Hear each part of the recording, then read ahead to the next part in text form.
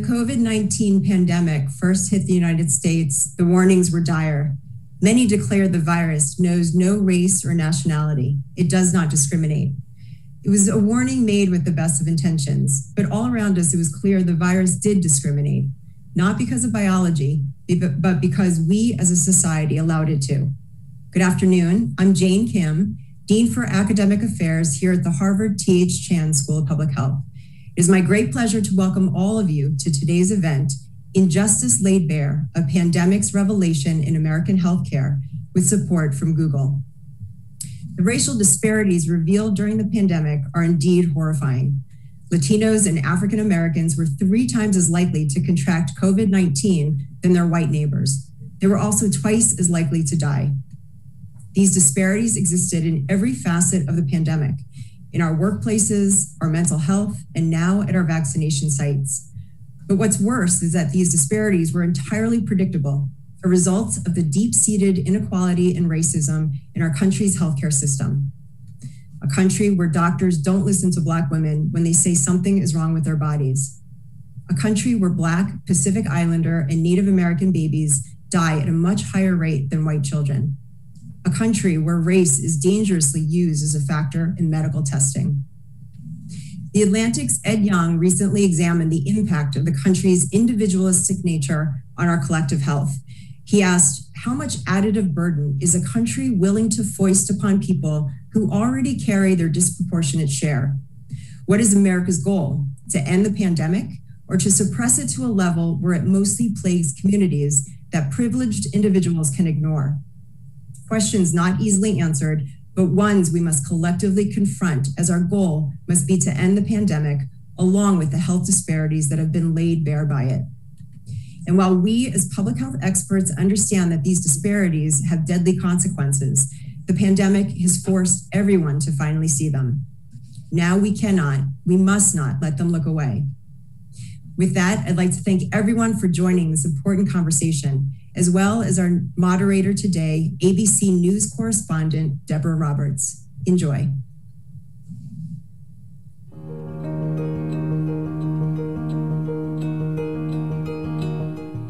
This is the second worst day here at IU North. Yesterday, Dr. Bannock wanted to send me home. At that time, I'd only received two treatments of the remdesivir. He said, ah, you don't need it. You're not even short of breath. I said, yes, I am. then he further stated, you should just go home right now. And I don't feel comfortable giving you any more narcotics. I was in so much pain from my neck. My neck hurt so bad. He made me feel like I was a drug addict. And he knew I was a physician. I don't take narcotics. So I started asking, send me to another hospital where they can treat me. And if they're not going to treat me here properly, send me to another hospital.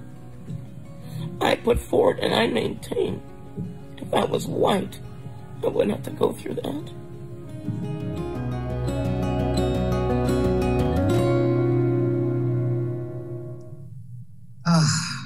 Hello, everyone. I'm Deborah Roberts, and that video is absolutely heart stopping. And, uh, you know, you're looking at a doctor here, too, a medical doctor. And I have to say that uh, many of us know that Dr. Moore's story, sadly, is not uncommon in this country, given the disparity of healthcare between communities of color and white communities in this country. I think people from uh, communities of color would be quick to tell you that racism is a killer. Many Americans were made aware of this fact during the pandemic. Um, and as a journalist and a Black woman, I remember all too well noticing early on in the pandemic that there seemed to be an increasing number of people of color who were seriously ill and who began to die. That disparity was pretty apparent very quickly to a lot of us. Some of us already knew it, but it was certainly laid bare, as you heard, during the COVID 19 crisis. And this is long before the CDC declared, just recently, in fact, that, um, you know, that this is really a major problem, that uh, racism uh, that is a serious public health threat in America. Twice as many blacks are dying in this pandemic than whites and you know the numbers just go on other communities of color too native americans latino americans the numbers are really too high and I think we all agree that this is totally unacceptable. So today we are here and we want to thank you, those of you who are out there online, who are paying attention and who want to be a part of the solution. Thank you so much for joining us. I'm going to introduce our panel in a few minutes, but I want to let you know that if you have questions throughout or maybe comments or things that you want to add to us, you can join us at facebook.com slash Harvard Public Health. That is facebook.com slash Harvard Public Health. Now, as I mentioned, we have gathered together an esteemed panel of experts and other vital voices in this debate to sort of understand what is happening and to really sort of strategize to see if we can make change. So I'd like to begin by introducing our panel so we can jump right into it. Please join me in welcoming first Dr. Garth Graham, Director and Global Head of Healthcare and Public Health at Google and YouTube. Dr. Karen DeSalvo, Chief Health Officer at Google Health, Dr. Mary Bassett, Director of the FXB Center at Harvard University and former New York City Health Commissioner, Dr. Foluso Fakorede, an interventional cardiologist in the Mississippi Delta, one of the poorest regions in this country, and Jeffrey Sanchez, a former state representative who served in the 15th Suffolk District in Massachusetts from 2003 to 2019. I want to welcome all of you. Dr. Garth, I'm going to start with you if I can, because I'm still reacting to that video. Um, and for you, as a, a, fellow physician, I'm sure this must have been difficult. Your reaction to Dr. Moore and that, that video that went viral? Yeah, you know, um, a number of, I think, um, Black and Brown physicians related um, in terms of not just personal experiences, but experiences of others, um, family members, um, patients, people we care about. So I think the concept of um, injustice, the concept of health disparities, the concept of racism occurring in healthcare and public health and healthcare delivery systems is not foreign. I think it's been only not only documented in studies, but like I said, and you saw me that video um, documented in a lot of um, personal experiences. So I think um, what that video allowed us to see was um, to see the raw emotion, the raw, the actual experience unfold in front of our very eyes. But I think um, certainly not a surprise, I would say, to many of us who have either studied or lived um, through those, through similar experiences. Dr. Fakorede, to hear Dr. Moore talk about being regarded as almost like a drug addict, you know, and being condescended to in the hospital, um, what was what struck you when you when you watched that video and so sadly, obviously, ended in her death? Struck me the most is that you know you're looking at um, one of the probably the most um, intellectually, um, you know, bright minds um, who uh, represents 5% of physicians in medicine. You're looking at a bright uh, a woman who had a son. Um, she had goals and hopes for her son. Um, you're looking at a physician um, who, you know, gave that ultimate sacrifice, the apron of humility, which is to serve her community in, in her site of service and to just be dehumanized um, and to be marginalized by not only a colleague but by a system. Um, that is what is more, more most heartbreaking. It's because this has been a generational scar that has been pervasive and that has gone ignored for decades. Um, and it is more systemic and it was just brought to bear by the fact that she was smart enough to put a camera on and to shed light on her experience. Now if she had not had the education to be or the, the where at all to be able to say you know let me document this experience then she just becomes one of the many the thousands and the millions who actually go and die and suffer in silence due to this systemic um, disease, this sick system of care that we currently live in, in our healthcare system, that has been brought to light by COVID 19. Um, and that's what I see um, in that video. And my yeah, condolences I, goes out to her family.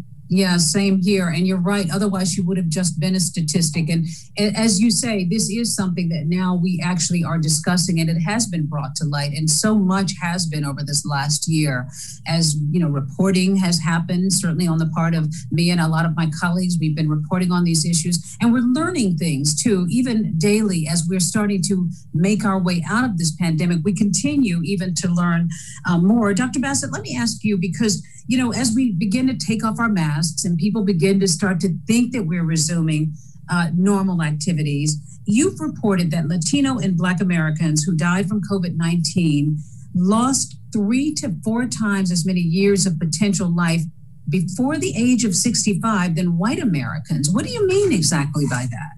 Well, not only are people of color, and by that I'm referring to Blacks, Latinx, Indigenous people, Pacific Islanders, dying, not only are people of color dying at higher rates, we're dying at younger ages. Uh, so that's why we can say that the, people are losing more years of life. When you die at 45, for example, uh, your life expectancy has been cut short. Everyone should be able to expect to live to be 65. Uh, but the Black population, for example, has lost as many years of life before the age of 65 as the entire white population, even though we form a, a much smaller proportion of the US population as a whole.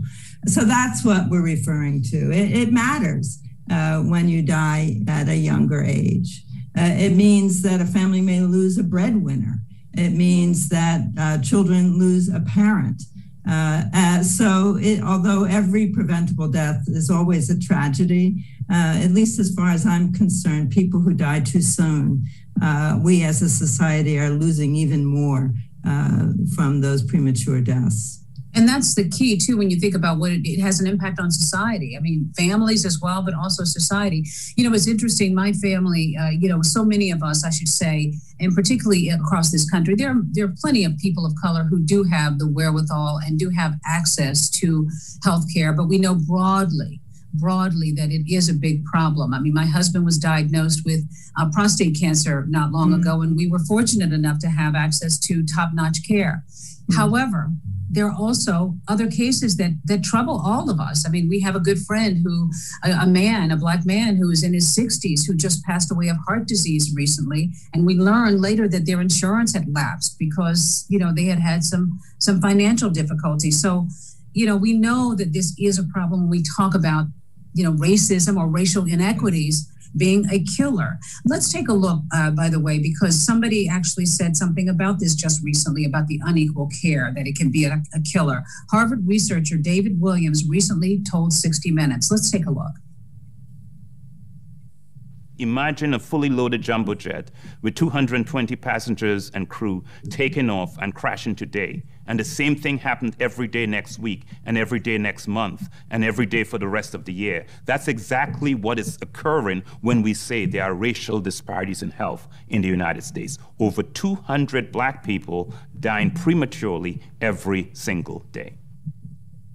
Those are hard numbers very hard numbers. And the way he describes it, I mean, I don't know about all of you, but I mean, even though you're physicians, many of you, you know this, it still kind of gives you goosebumps. Dr. DeSalvo, when we talk about trying to level the playing field, and you know, this is such a big, big order, of course, but how difficult is this anyway, trying to make change and trying to level the playing field that you know is so um, unequal at this moment?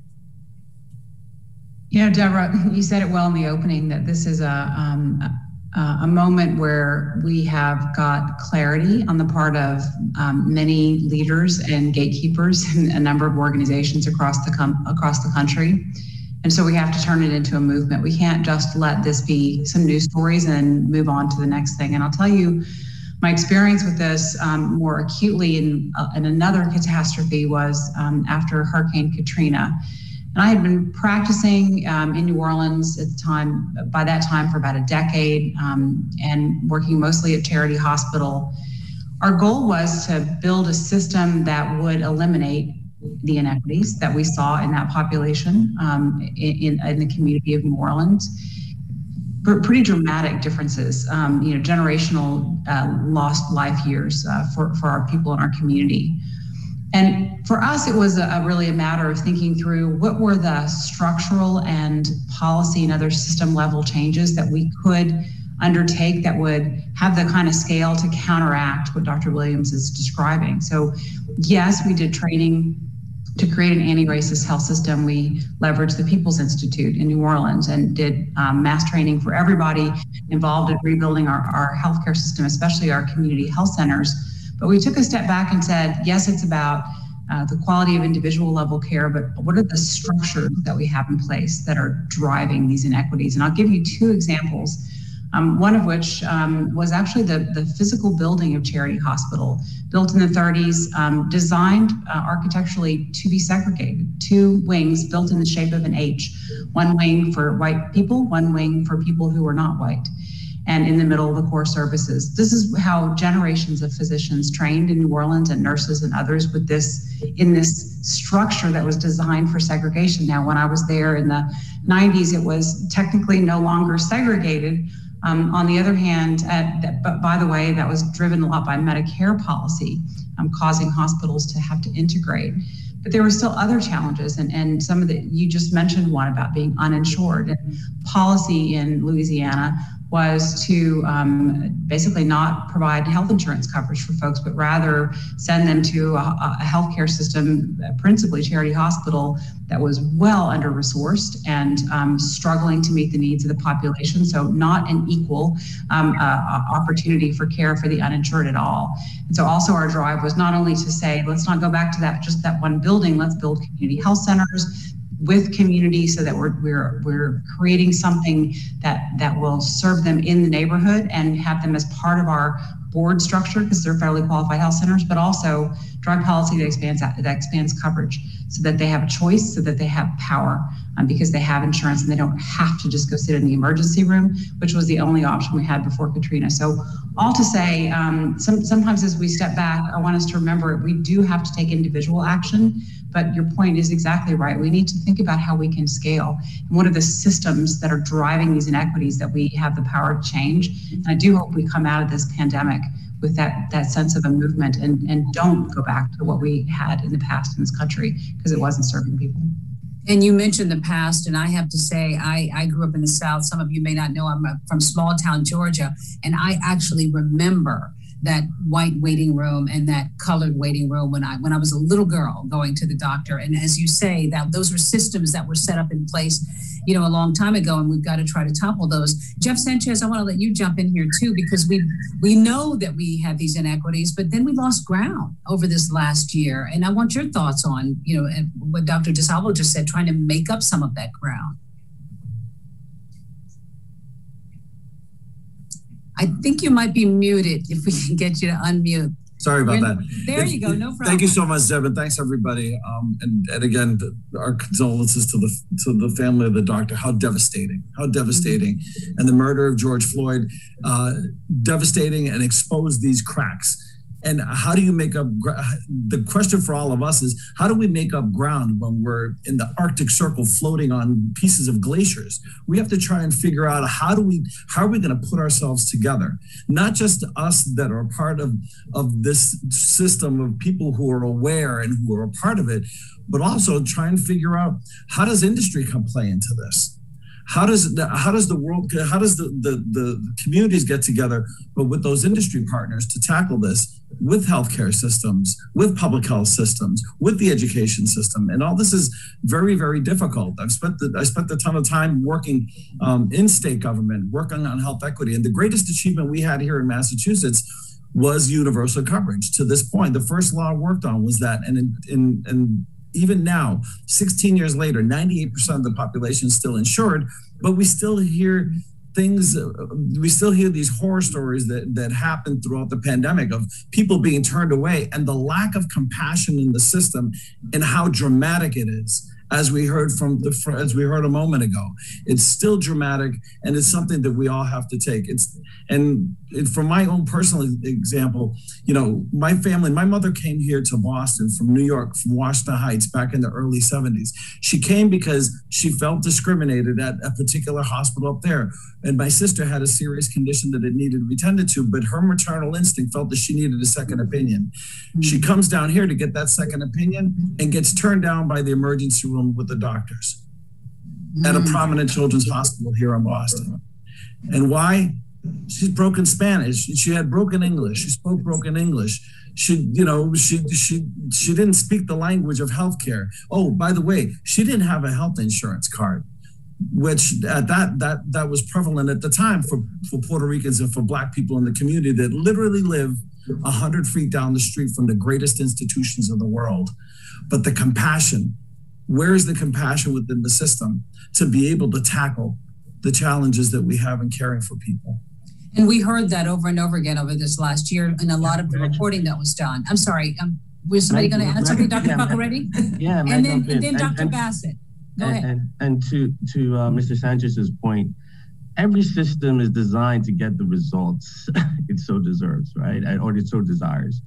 And so we have a healthcare system uh, whereby, you know, we're looking at, oh, how do we achieve equity and what are the gaps? Well, from my standpoint, if you look at the 20 year history of cardiovascular disease, when you compare rural Black America to where your parents lived, um, Deborah, and um, to where uh, Ms. DeSalvo uh, practiced, Dr. DeSalvo practiced in Louisiana, if you look at the data from 19, early 1990s to now, we have seen little to no improvement in terms of the mortality, more, more mortality. I mean, I'm sorry, in terms of their the survival rates of Black rural Americans in over 20 years. In spite let's, of let's... all the advancements in technology, in medical trials, in in, in you know in, in this elusive trying to address social determinants of health, 20 years we have not seen any improvements. And so the question becomes, you know, what what what is in play? Um, you know, we, we, we, we've tried little things here, but what, what's, what's broken in the system?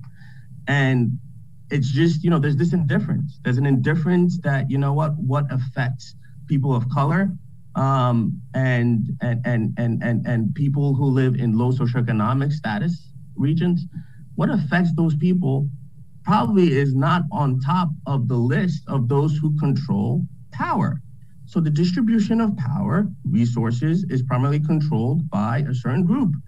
And what the achievements of that group in terms of what they want to achieve, uh, both short term and long term, we need a seat at the table, or else we become just what the you know just an item on the menu.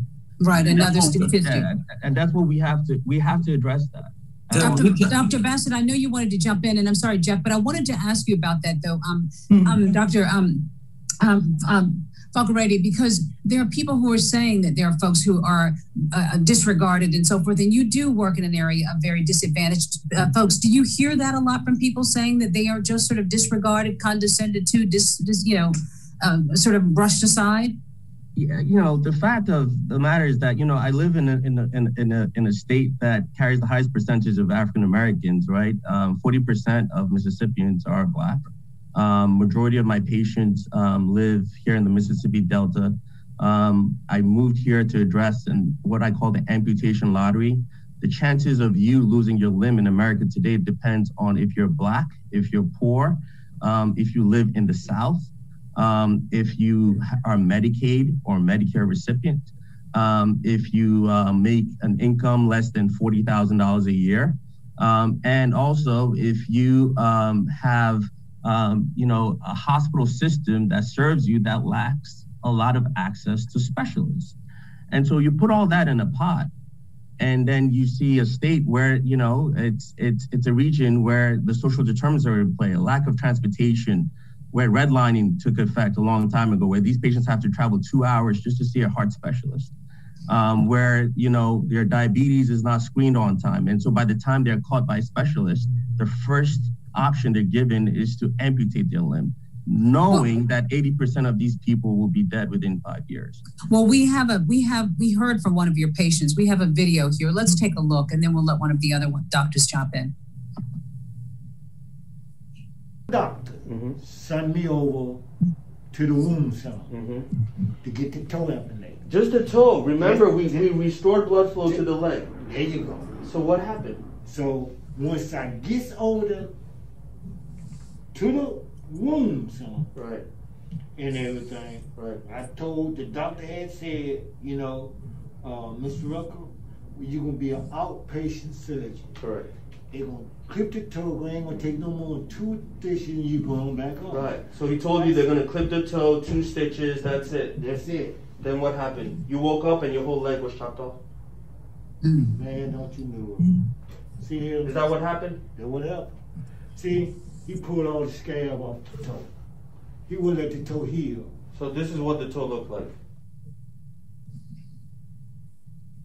Oh my gosh. Now we know that amputations do happen and sometimes they're life-saving, but this is this is pretty outrageous, Dr. Fakorede. Yeah, so that is that is that could be my dad. That could be your brother. That could be, you know, that's a man who had um, you know, was in the workforce. And what transpired, what just transpired is that he was a diabetic that was not screened early, and there are systemic policies in place not to screen diabetics early. We'll get to that later. And had this non-healing wounded toe and just like a clogged pipe in your kitchen sink, you unclog that pipe by a plumber. Well, he came to see me and I opened up and restored blood circulation to the foot. All he needed was quality wound care to mm. take time. But rather, guess what happened? His whole limb was amputated. And so, what does that mean? The evils of amputation results in one, his life expectancy now severely diminished. 80% of people in his scenario will be dead in five years. Two, the cost to take care of an amputee yearly is about over $100,000. Mr. Rucker makes about $28,000 a year. Three, in terms of the cost of the family, every family member now has to take time off to come and bring him to every single appointment for the rest of his life. So that affects their social determinants. And mm. four, you have a patient now who is costing our healthcare system a lot that we all here pay for, right? Because we all pay taxes close to 85% of that cost is borne, that's a 200 billion dollars a year cost. So you're you're looking at just the tragedy of just a, a, through the myopic view of just one person. I mean, multiply this by by by a lot of patients, not only in cardiology and vascular care, but you see it in cancer, we see it in early mort, uh, maternity deaths, and so it's it's a systemic issue in play, and, right? And and we must air it out and Man. visual is something that makes it different for, for and i want some of the other doctors to jump in here i just wanted to ask well. dr fakorede a question uh, foluso did this patient give consent for a below the knee amputation you know it's that's a great that's a, that's a great question he was told as you heard in that video he was yeah. told that a toe was going to take be taken off now uh, the average the, the literacy level of these patients that i take care of is about third grade at best and again, when I mentioned social determinants, the education is in play. So that was the thought and that was the consent. So he that did not understand what he'd consented. He, he didn't even really understand what was happening. Right. Uh, you know, and that and that I think is one of the biggest challenges too. That as you said, whether it's a language barrier or whether it's an education barrier. By the way, we have a question here. Um, someone is just asking, uh, who's writing into us, wants to know what individuals can actually sort of do, I guess, to advocate for themselves. And um, Dr. Uh, uh Dr. Graham, Garth Graham, why don't I let you jump in on that one? Yeah, you know, I think um, if you look at what Dr. Fakorede described and a lot of what Dr. DeSalvo described that Louisiana, her leadership in Louisiana, and a lot of what Dr. Bassett did in New York City as well, these are about addressing systemic issues. And the thing to think about here is understanding how systemic racism plays out, certainly on a societal level, but how the different levers within the healthcare system as a system perpetuates these challenges. You showed a, a clip from Dr. David Williams, who a lot of us um, you know, are, are um, have long followed his research, and a lot of his research talks about um, how segregation, in a very systemic way, has resulted in the challenges that we face. So, the reason I say this is I do think that the concept here, going back to Dr. DeSalvo's point, and the, the, the solutions really we have to think about on the systemic level. When we think about, you know, vascular disease and amputation, we have to think about even some of the upstream things that led to that and some of the, the challenges that Dr. Fakorede um, uh, mentioned. So I think when I think about this, I think of the system and how post-COVID do we not go back to a system that led us down the lines of where we got to during COVID. And that's a very that's a very good point that you make. And Dr. DeSalvo, I'd like to ask you about that because we're talking about you know stepping out of covid um, but yet you know we're talking about communities and vaccination and some of these very communities that are vulnerable uh, that have you know high incidences of death and and and, and um, sickness with covid and some of these folks are worried about vaccinations too. Do you want to talk about that dr desalvo? Uh, certainly. I mean I, I, let me just start by saying the the reality, of course, is that the data is pretty clear that that individual level racism and, and systemic and structural racism affect people's health. Um, there, there's pl- plenty of good evidence historically, and then we most recently are seeing that in COVID, uh, there are disparate impacts on on life expectancy, not only globally in the U.S. compared to peers, but uh, but across um, race and ethnicity. So the challenge is real. Um, the action has to be uh, just as real. And, and you see that um, playing out a, a, bit in the, in the vaccine access and vaccination rates challenges. I want, I think I, I just want to make sure everybody's remembering how complicated this is. There's not a single point solution to why everyone's not getting vaccinated. Sometimes, I mean, I know from my patients, it's incredibly complicated. You're working multiple jobs. You're going to have to get to the site for vaccines, and so you have to take public transportation, which only runs at certain times. Uh, maybe you've got childcare responsibilities. For other people, they're worried there's going to be a, a copay or a cost or a charge and they don't have insurance. It's uh, still very true for a lot of parts in the South of the US where Medicaid has not been expanded and, and there are plenty of folks who don't have health insurance and are concerned. There are others who are worried they're going to be documented, meaning put into a system, but they're actually technically undocumented and they don't want to be found by ICE or other systems. So those are some of the many reasons that people aren't yet vaccinated. So as we're doing this work, it's a reminder to all of us how important it is for public health and healthcare and the system to meet people where they are, listen, understand what are the challenges, how can we help overcome them, because it's not going to be a single solution. Right. It is good, but I just want to just end on this piece because it's come up a couple of times. I think we have to also remember that where there are big, big system level changes we can make, like coverage expansion, we should tackle those. Or whether where we can use data. We built a, a vaccine uh, equity tracker with with Ariadne, Ariadne Labs to find point solutions for you might need to have a vaccine desert and pop up a clinic. So there are ways all of us together can start to work on systematic changes but I don't want it to end just with the, with COVID. We, we all have to think about how we're going to work together coming out of this to address the, the broader system level challenges that are affecting individuals and, as we've discussed, the individual right because in some ways COVID just sounded the alarm. And we have a, a, a, graphic here. Actually, I want to just show you a map because we were talking about these communities. According to Axios, in the South, in particular, you know, uh, folks are communities of color, particularly, are at a much higher risk for COVID outbreaks due to low vaccination rates. So, you know, you know, this thing is not over yet, and we might still see these communities continuing to be impacted. Um, did somebody else want to jump in? I, I, think I cut somebody off, and I wasn't sure. Was that you, Jeff, Dr. Yeah, Sanchez? Deb, I, Deb, yeah, just because I, I, think that at the same I elevated time, you, Dr. Sanchez, and I meant to say Jeff Sanchez. No, no, no. I just I, I, I, am lucky to have the lecturer position with the School of Public Health. I work for that. I work the MPA for that. and, uh,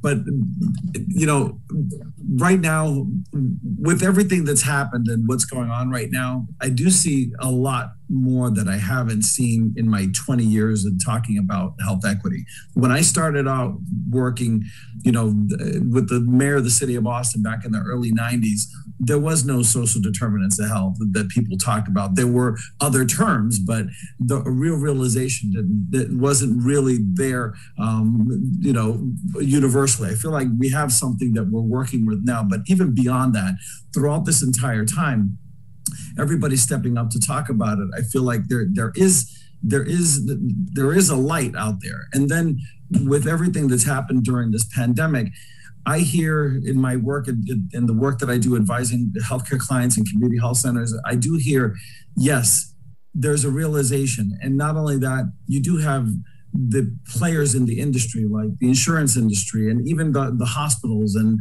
and other provider groups and, and community organizations talking about health equity very differently. The challenge, I think, is what do we learn? What does everybody learn from their own instances? To try and figure out how do we elevate it to create systemic reform. The great thing that, that's happening now is, particularly here in Massachusetts, is that is happening. Um, the question is, how does it turn into either legislation or work that happens amongst all of those players to bring each other together. And then at the national level, we know that there is not a, there is a constant debate on healthcare. But if there's something relative to healthcare that does start brewing relative to a bill, this is the time to be able to engage that. And we do know that there are some pieces of legislation um, that legislators have been working on for a while um, to try and get at disparities directly. The ch- and in terms of how do you get at it, how do you advocate? I think you advocate with the people that you're around. You go to, you work with your community-based organizations that may have an agenda. You also identify your elected officials. It could be a city councilor, it could be a state rep, it could be a senator. And and there, let me tell you something provider groups do not like legislators calling them. They do not want they don't they don't want to hear negative phone calls from them. Why? Because at the end of the day the state legislators handle the purse strings and they and those all those legislators go back to debate resources policies and actions relative to the healthcare industry. So i think in, in it, when when we as people who are in the know uh, stay connected with people from our own communities we try and lift them up and, and try and bring those messages with us. But there has to be a willingness, a further willingness to, to listen. And I think that there has to be that, that there has to be those actions first, the listening, so that we can continue moving. When you talk about the message, I'd like to go back to um, talking about where we stand right now with the COVID crisis and, and, and vaccination. And Dr. Graham, I'd like to ask you because social media has played such a big part in uh, illuminating um, so much of what we've known and learned about these inequities over the last year. And I'm wondering uh, what you suggest for those who have a platform, much like myself. You know, I've, I've been reporting, of course, on a lot of this over the last year, and digital reporting has also been a big part of it. But give us some ideas on how those who have a platform can also help and help advance the, you know, the, the, the message and, and also try to help with these vaccination rates as we're trying to make our way out of this and not to continue to keep those inequities entrenched in this pandemic anyway. Yes, that's a very good point. As Dr. DeSalvo said, you know, the challenges around vaccination are multifaceted from access to understanding, hesitancy to understanding the dynamics of the lives that people live. One of the things I often say, though, and I've heard many others say, is just that the the message is as important, the messenger is as important as the message, meaning the ability of individuals like you and other folks who can relate to audiences and carry scientific information and, and make it more personal and have folks understand um, the pros and cons and have them make the right decisions for themselves and their families is particularly important. And one of the things we've done a lot of work with um, from the YouTube and is working a lot with the Black Co- Black Coalition Against COVID, the Kaiser Family Foundation, a lot of the organizations that have been um, have those grassroots tentacles and have been working to try to get information out to the public um, and using um, the voices of clinicians um, to answer vaccine questions that um, the communities might have, but also the voices of trusted sources from folks in the hip hop community, all the way to um, Harvard researchers like Mary Bassett, who did a wonderful piece for us, um, working with uh, Dapper Dan. Um, oh, that was fun. And it just, just shows you the full range in which messages can be communicated. But again, as Dr. DeSalvo said, and I think going back to this concept of system challenge and system issues, it's it's message is one component, access is another. So many different components, and it's important for us to think through um, how we address all of those different points um, along the, the, the journeys and experience of communities. Well, we all know. I'm sorry, who was that, Jeff? Yeah, just again, anything that has to do with social media relative to the immigrant community and the, the, it, and remember all immigrants, Latino and, and and beyond. The level of disinformation on social media and immigrant communities is beyond reality. And if mm-hmm. the things that you hear and read, they hear uh, through social media, uh, right. you know, I saw one the other day. said te va a caer el pelo si te da, si te si te das el COVID, si te si te da la vacuna. Your hair is going to fall out if you, yeah. if you give yourself the vaccine. That's yeah. only one. There's thousands of it, and they're they're not right. coming from here in the states. They're from from outside, from all over. Exactly. Yeah, we're, not in a, we're not in a, in a show anymore. I've heard that. I've definitely heard that. And I mean, my Russian manicurist had actually was showing me something once that she heard that was misinformation. Well, at the core of a lot of this, and some of us we were talking earlier about, uh, you know, the mistreatment, the maltreatment that people are getting, and that also creates hesitancy too, because a lot of people just don't trust the system. I want I want you all to meet someone. Her name is Shirley Crews Taylor, and she feels that her family was misled and mistreated by the medical establishment. Let's take a look each time I'm asked to speak on my brother or reflect on the life of my parents, I do feel a lot of emotion. I'm the oldest child. There are seven of us. My brother, Jamarcus' health started to fail. He started gaining weight so he could barely walk. He was out of breath. Then he started dialysis. He had to go five hours, three days a week. He wanted to get on the kidney transplant list, but they told him he had to lose 25 pounds. The information he received was not correct. He did meet the criteria to be on the kidney transplant, but yet he had to go to dialysis for eight years. We're dealing with um, institutions and systems that are collaborating to withhold information it's not only systemic racism there in Alabama, but I know that it's all over.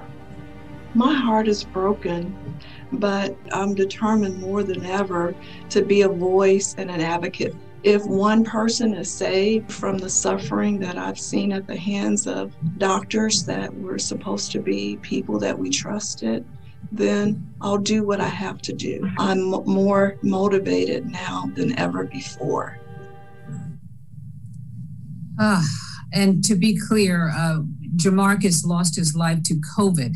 Um, his pre-existing conditions, that was eight years of dialysis, certainly didn't give him any um, uh, strength in his body to fight, but he lost his life um, to COVID. And Shirley, you're here with us now. And, and first of all, our hearts just break for you and your family, and, and you have our deepest condolences you what, what, what are your thoughts as you hear us talking about uh, the inequities that exist today and what can and should be done to make sure that your brother's uh, experience doesn't happen to someone else? First of all, Deborah, thanks for the opportunity to be here to speak on behalf of my family and all the families who've lost loved ones.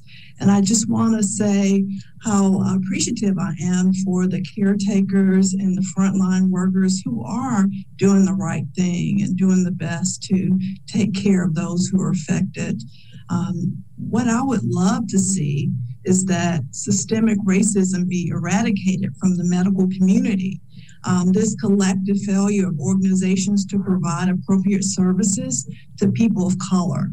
Um, what I would like to see is the exchange of knowledge equally. Um, knowledge is power, and institutions know this. Um, let's keep and find courage to speak up, then change the system. Don't accept everything as truth, verify. Um, don't be afraid to call out injustice. It takes just one person to make a change. Do what you can. Develop a collective effort to work together and just know that avoiding conflict or going along to get along, that mindset no longer serves our community. I would also like to see people of color in our communities get the same care as others, share the knowledge, in the future, I would like to see a system established where there can be educational outreach to inform people of their rights, um, to create um, hotlines that are manned by independent health professionals outside of these large facilities where patients can verify information and make it user friendly. I would love to see um, the education to help our community understand that caseworkers or hospital patient advocates are not advocating for you, but for their employers. We must never forget that these people work for medical institutions and there's no objectivity.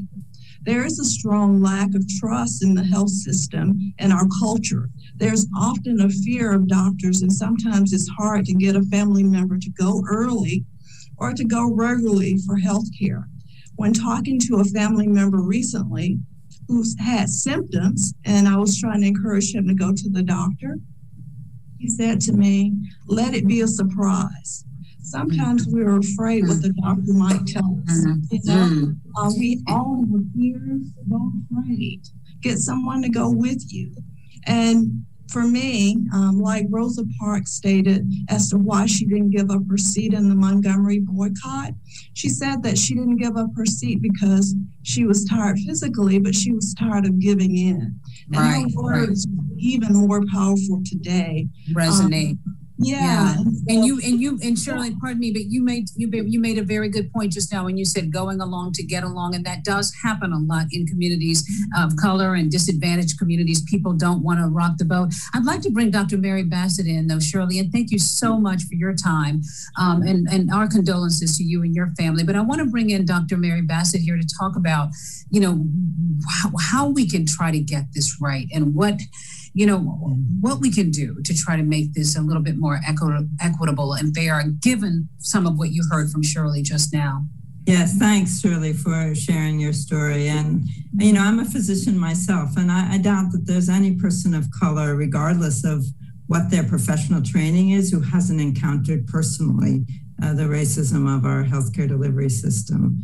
And, you know, I, so this is a, a lot of, of what we see uh, relates to people's stereotypes of um, what of, of uh, people of color.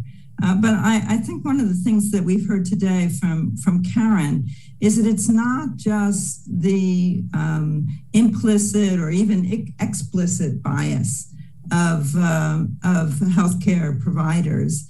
It's also the systemic factors that people of color go to hospitals that have, you know, are hugely under resourced. Uh, they have, they're under resourced in terms of staff. Uh, they're under resourced, as Dr. Uh, Fakorede was mentioning, in terms of specialists. They're under resourced in terms of equipment. And uh, so that is literally in, inequality in concrete. And that has to do uh, with, with the way in which we funded healthcare delivery in this country. And we have to look at uh, how we ensure that there there's equitable funding so that we should have, in fact, the very best hospitals in terms of their capacity available to communities with the highest rates of disease. And instead, we have the opposite. So yep. some of these questions we can't solve as individuals, but mm. some of them we can. We can insist that there be bias training. We can mm. advocate for more uh, admissions into medical schools. We are now at a level that's about the same as when I went to medical school.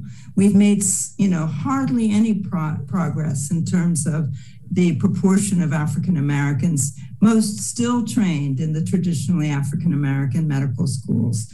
Uh, and we can ensure that people know that they have the right to advocate for their rights, that they don't uh, have to accept disrespectful treatment that they that's what we saw Dr. Moore doing, in fact. Mm-hmm. Um, she was advocating for her rights by going to social media. She right. was 53 and, years old. You uh, know? Um, I know you're absolutely right. And it looks like Jeff, you want to jump in here, yeah. but uh, you know, hearing uh, Shirley talk about, you know, some of those cultural factors that can contribute. Um, and, you know, clearly, you know, in your community, the Latino community, you talked about that just a minute ago, too, about the cultural factors that contribute. Um, as Dr. Bassett said, certainly doctors need to be aware of that. But, you know, I'm, I'm, I'm certain you're probably also thinking about the community being aware that that is even happening to them. Well, I think, you know, uh, um, Shirley, thank you for having the courage, the strength, and the power of your soul to, to be with us here today and, and, to, fi- and to find your voice the way you have. Um, and frankly, you have given everybody a blueprint with clarity today. And thank you for that. Um, and, and Dr. Bassett, you and I have been working with a lot of policymakers for a long time. And here in Massachusetts, and we live in the land of plenty when it comes to healthcare, half of the half of the uh, 40% of the state's budget is devoted to Medicaid alone.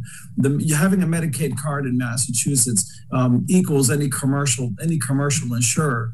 They're getting paid now, and they're getting paid in volume. The question is, how does it translate? Not only, and that's just that's just Massachusetts, but as a nation, how much do we spend? And you know, the, yeah. the question is, how do we make sure that the spending is equal, is equal not only in terms of the dollars, but also in terms of the treatment. And I think, like I said, I think Shirley did a great job uh, giving us a blueprint to think about that transparency and engagement with communities. We spend an inordinate amount of money on translators. How is it that the number of Latino doctors that are out there are still in the single digits, as right. well as the number of Black doctors, single digits? What are we doing to make sure that that that programs are looking to increase their numbers. I do see increases in people of color. I don't necessarily see Black and Latinos and right. that for and for people um, and for people you know like myself and others that are trying to seek that that are trying to break down those barriers and find that transparency it's not all going to be in the technology we're still a people of engaging with each other on a personal level you know, in in the community that that that I spent some work doing on, that we have a line of community health centers that do great work we still struggle with what people hear from the outside, as I mentioned, and how they're going to and how they utilize the systems to better themselves and, and, and provide better care for their families. So we we still have a significant amount to do. But again,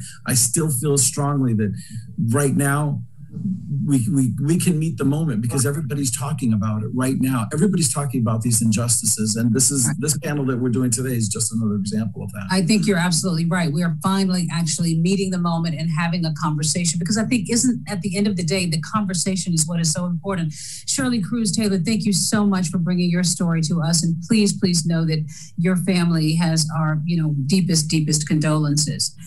I want to talk to Dr. DeSalvo, though, about, um, you know, you were Assistant Secretary of Health and Human Services, and you spent years on the ground in New Orleans, as we said earlier. Uh, now you're in charge of Google Health.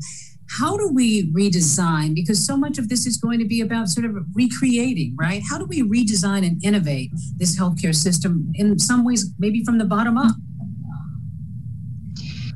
All right, I'm going to try to be short because it's a big, it's a big and really one, important. That's a big one, I know. But I, I do, I do want to um, Shirley say thank you to you for bringing such honor to your brother and using his story to give people power. I, I can't um, say enough about how important that idea is that he got um, disparate care in a system because of the color of his skin. And we see that in the data, actually, um, particularly with, with end stage renal disease and dialysis. And so, not only in that condition, but more broadly, it's this notion of how do we um, bring the power, not only because people have a voice, but because they have a vote and they have decision making rights. And all parts of the system are transparent and accountable to seeing that we're going to drive equity. And, and it starts with, yes, those individual interactions. It starts with the algorithms that we build that help make decisions about care and, and the data that informs those. It starts with making sure that people have the power of insurance coverage that's strong, meaty, however you want to describe it, that allows them um, to, to make choices about where they get their health care and have and have some say in, in the quality of that care. And it's it's got to include uh, transparency and accountability for the entire system, the healthcare system, including uh, measures around health equity, which I believe this administration nationally will be working towards, and, as well as others but to make sure that we're not just looking at what is the care in that one hospital, but how is the community doing? What are the what, what are the rates of disease, the rates of wellness and health and longevity more broadly in community? Um, but Deborah, I just want to take a moment to say something about outside of the healthcare system, because th- though I am at Google Health, we think a lot about um, our accountability and responsibility broadly as a company. And uh, much of much of my life, I have learned that public health uh, or addressing the public's health is what we do together to create the conditions for health. And that means that everybody has a role to play, and every organization has to look at themselves in the mirror with clarity and humility and say, where are we in this journey with, to equity, and where what is the next set of steps that we have to take? They have to think about building equity into the entire life cycle of the, the products or services that they build and deliver. And, and again, making sure that there is a accountability and transparency and that they're given power to the people that they serve because they're really a part of the process uh, along the journey yeah, these conversations about equity. And I also have to say, too, that I think that we also have to get the messages out to these communities, too, that they have not only got to advocate for themselves, but take care of themselves, too. I was on my way to the gym this morning and thinking about my community and, you know, how many people don't really prioritize their health, too, and the things that they can do. But we do have a question here from Kim who says she wants to know about representation in the medical field. How can that help lessen medical racism? And I think that's key. I have a niece who just began her residency in, as an OBGYN, and she talks a lot about this. I don't know which one of you might want to talk about representation and why why that's so important. I can, um, Dr. Fakorede? Yes, Go I can ahead. take that. I think, um, you know, the physician-patient concordance is very important when you talk about addressing, you know, bridging the gaps in health inequities. As every panelist has mentioned today, and even with Jamarcus's story, um, to understand how these patients um, maneuver or, or, go through the system where they could either be lost through a fragmented system, be it systematic, or be through the, the, the healthcare practices of the medical practice that's involved with that patient. Um, what you see as someone who is of color, who represents a physician, a, a patient population that I serve, um, you understand their social determinants. Um, and also you elucidate those factors that have led to those fact factors being in play. And what it facilitates once they can see that you have both that technical and interpersonal competence what that facilitates is facilitates care seeking behavior um, and they come to you for even things that are even beyond your scope of practice.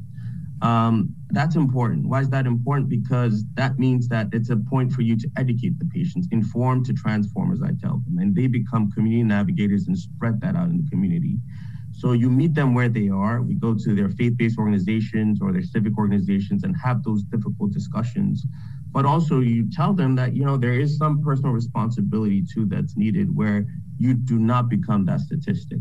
Mm-hmm. And also, we use our, our, our, and agitate all levers of power whereby we get our uh, politicians involved. I think, you know, there are intentional policies that were created.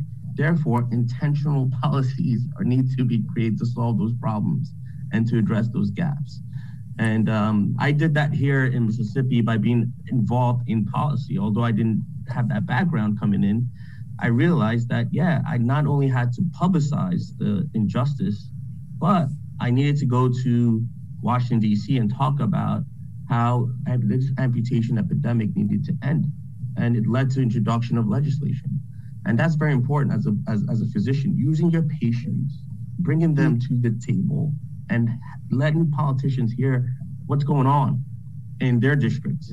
Mm. And to Jeffrey's point earlier, and then that weaponizes and, and, and, and, and empowers your patient so that their voices and right. become now that megaphone. And that's, right. that, that, that's why it's important. And as, as someone of color serving in a primarily uh, minority population, I found that very useful and very empowering, uh, not only for myself, but for my community at large. Yeah, yeah. Um, Dr. Graham, do you think YouTube can help with that message? Because, you know, again, we're talking about social media. Yeah, so we have to think through the journey of how we get more black and brown physicians there. It's, it's a pipeline. Um, you know, you start with the kinds of educational activities that start with, you know, the first couple of words. And so understanding really how we get communities and how we get to the numbers where we have um, and, and improvement. Um, we haven't seen much improvement, Deborah, as you just pointed out, especially for black men physicians. It's about the same numbers that we've seen in the 1960s and the 1970s. So if you take that as an arc, the arc really just circles right back to where we are. But going back to the role of platforms like ours, you know, this idea of both raising awareness so we understand the magnitude of the challenge this idea of articulating and being a voice for the community and being a voice for those who have thoughts and strategies, and also thinking through again, uh, going back to this issue. I know uh, Marion, Dr. Fakorede, and um, Dr. DeSalvo talked about articulating the system, the, being the voice for the, the, the changes we need in the system. And for physician diversity, it's a pipeline challenge and making sure we're addressing the full range of challenges that we need to get um, black and brown um, uh, folks through the pipeline is particularly important. Well, having these discussions about the uh, system are, you know, so uh, deeply important. And, you know, many times we've uh, seen these voices that have been out there. In the New York Times recently, there was an article written um, by Damon Young titled Racism Makes Me Question Everything. I got the vaccine anyway. And he writes something very interesting, says, existing in America while Black requires a ceaseless assemblage of negotiations and compromises, even while recognizing the anti Blackness embedded in society. Participation is still necessary to survive. And his point is that, you know, one we don't really talk about all that much is which is that many Black Americans who might have their questions and, and, and, and you know, may suspicions about the system feel that they have to, you know, participate anyway. And, and, and it's so interesting because they, they we know the Tuskegee experiment. We know there've been examples over the years where blacks have full reason to be distrustful of the system, but yet, you know, they, they don't get vaccinated, right? If we don't participate, you know, that becomes an issue, right? And Deb, they've heard of Tuskegee and Puerto Rico, the sterilization experiments that happened on women. I mean, they're out there, but mostly they just have to go down to the hospital and experience things themselves, and that's it's it's happening. Exactly. Yeah, I, Dr. tired of people keep referencing Tuskegee, which ended in 1972. It's really people's everyday experiences, uh, both yeah. within healthcare and outside. Uh, which have generated the kinds of um, uh, levels of concern um, but these I know it's an old it's an old example, but people do still talk about it, though, Dr. Bass. They sure do, uh, but I'm not sure that that's what's keeping people away from being vaccinated. That's all I'm saying. I'm just echoing. I think what you've just said, Jeffrey, that it's also you know the fact that these these historical examples are reinforced by everyday life, and that's what really. Um, what really, um, you know, the kind of stories that, that we just heard from Shirley. Um, right. Uh, and we heard uh, the plea for help from from um, from Dr. Um, Susan. Um, so so yeah, Dr. Moore. Dr. Moore. Well, you know, as we, uh, you know, we could we could explore. There's so many topics and so many other things that I want to get to. But as we start to wrap up, you know, we're we're we are talking about coming out of the pandemic. People are getting back out there now. They're taking off their masks and going on vacations. And I was seeing this morning they're jumping on cruises and, you know, wanting to start to put this behind us. And of course, we know it's not completely behind us. We, we're hearing about that about that variant that's coming out, and with people, of course, who aren't vaccinated, that becomes a bigger issue. But I'm wondering, you know, as we try to take the lessons that we have learned and that have been laid bare as a result of this pandemic, if you feel, and Mary, I'll, I'll let you finish mm-hmm. up because you were just sort of talking about that, and I'd like some of the others of you to jump in before we wrap up. You know, are we any closer to making a dent in trying to sort of at least address these inequities and begin to make some change? Like a lot of people on this panel, I've been thinking and talking and working on these issues for a long time. And I, I think the level of conversation within our society is one that I haven't seen in 50 years. Oh, uh, and, that's encouraging. And that's encouraging. Uh, it is a really big problem. And I was really glad, Karen, that you mentioned that we have to think about people's lives outside of healthcare. We have to think about what's going on where they live, what kind of jobs they have, what kind of transport they have to those jobs, what their opportunities are to exercise when you work two jobs and have a family that you have to look after. You know, how are the parks? So we're talking about something really big. Uh, but we've just experienced something really big 600,000 lives lost. Mm-hmm. Uh, so I think that we are positioning ourselves to undertake the broad uh, multifaceted hard work that it will take to have a more equitable society as well as a more equitable healthcare system. Dr. As a, former, as, a, as a former policymaker working in the legislature, um, for many, many years, I felt like I was the canary in the coal mine talking about health equity, talking about social determinants, talking about scope of practice, talking about finance, healthcare finance, equitable, equitable healthcare finance. And now I hear so much th- this conversation happening that didn't happen before. So all of your work and everything that's happened, it, it's happening now. We just have to meet the moment. Yeah, and it's not, these are hard conversations. They're not comfortable conversations, but we are having the conversations. Dr. DeSalvo, uh, optimism, what are your feelings at this moment? I, I actually feel optimistic. I think we have the attention of the right um, policymakers and leaders, as well as the average person on the ground. So now it's our job to be strategic and intentional and act with and act with as much swiftness as possible to make this a new normal as we come out of the pandemic and not go back to the way we were. Dr. Fakorede, final thoughts? I think that you know we um, we've seen what COVID has done in terms of you know, unblinding the injustices that have existed for decades. As a cardiovascular specialist, you know, cardiovascular disease is the number one killer. And African Americans actually bear the largest burden, not only now, but for two, the next two decades. Uh, unfortunately, uh, only 5% of African Americans have been enrolled in all clinical trials to date. Mm-hmm. So if you look at this, you know, we talk about historical trials and what daily experiences, um, to bridge that gap, I mean, it's going to take, as again, intentional actions, but also strategic, where we're not only addressing preventative strategies, but there should be more emphasis on prevention. Let's figure out why these people are jumping into the stream, not pulling bodies out of the stream. So mm-hmm. let's let, let, let upstream preventative strategies are very important, and we're going to a value-based care system. And to do so, we need to address the ever elusive epidemiological catch-all of all non-medical issues, which is social determinants of health. When mm. we address that, and we intentionally bridge that gap, I think we will see a significant dent in terms of the health disparities that, uh, that we've seen. Um, Those were powerful words. See why people are jumping into the stream rather than just pulling bodies. Dr. Graham, I'll let you wrap it up for us. Yeah, you know, my, my mom taught me about hope and hope. Um, hope um, moves us into different places.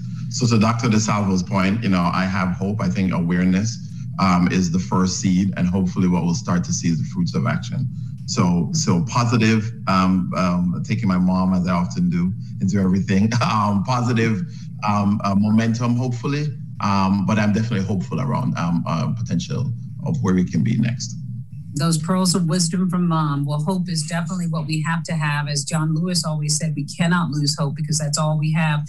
Dr. Graham, Dr. DeSalvo, um, we just want to thank you so much. Dr. Bassett, Dr. Fakorede, and Jeff Sanchez. It has really been a pleasure um, to talk to all of you. And I also want to thank uh, Dean Williams, uh, Dean Kim, and the T.H. Uh, Chan School of Public Health for having me here today because this is such an urgent discussion. We're just beginning it here. We're certainly not ending it, uh, but we certainly are trying to uh, create some ideas and some thoughts for strategy. And I think you've put us on the road to that, all of you. So thank you all for joining us out there. Thank you for your, for, thank you for your questions. And thank you to the panel again, and all the best to all of you.